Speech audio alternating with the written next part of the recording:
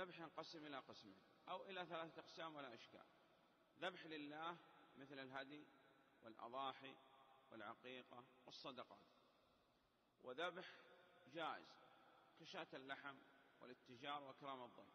رجل يذبح لماذا تذبح؟ قال أذبح حتى أكل أنا وأولادي. يصح؟ نعم يصح. يذبح حتى يبيع هذه اللحوم لأنه جزار ويبيع اللحوم. يصح؟ جاء ضيف فذبح وقدم لهذا الرجل يصح ولا إشكال. بل أحيانا يكون واجب من باب كرام الضيف. القسم الثالث من الذبح الذبح لغير الله محبة وتعظيما كالذبح للجن ولأصحاب القبور وفي وجه السلطان محبة وتعظيم. فهذا الشرك أكبر. إذن الذبح ينقسم إلى ثلاثة أقسام. ذبح لله وذبح شرك أكبر لغير الله محبة وتعظيما وذبح جائز.